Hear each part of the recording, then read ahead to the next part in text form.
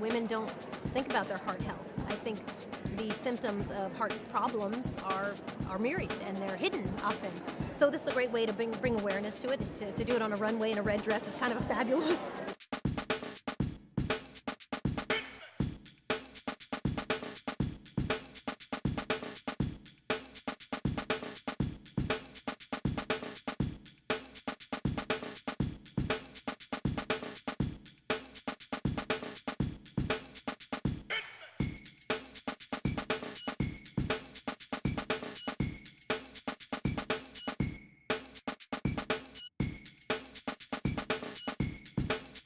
because I care deeply about women's heart disease. Um, my mother passed away of complications of a stroke and, and heart attacks, and um, I actually serve on a board about educating women about heart disease because, as you know, it's the number one killer of women in America, and it's um, more than any other cancer combined.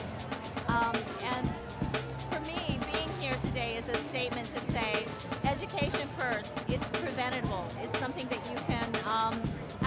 diet, exercise, um, certain things with, with your doctor that you can work with around cholesterol. There's ways to prevent heart disease. My whole mission in life is not just to get people in their skinny jeans, but to enhance the longevity and quality of their life. And between cancer and heart disease, lifestyle choices, food, stress management, exercise are all the best form of preventative medicine. So naturally, I'm going to be out there to combat this on a regular basis with whatever I do. But sadly, my father's mother dropped dead at 66 of a heart attack, and, and no one even knew. Just we had no idea she was even sick. So it's affected my family personally, and of course, it, it's directly related to my work.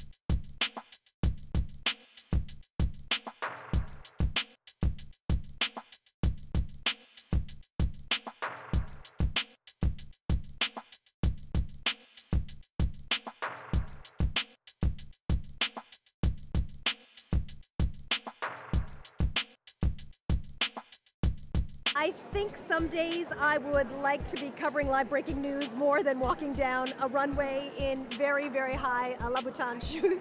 Um, but I think both cases, when you're on the air covering a story or when you're walking down a runway in a bright red dress, the whole point is the message.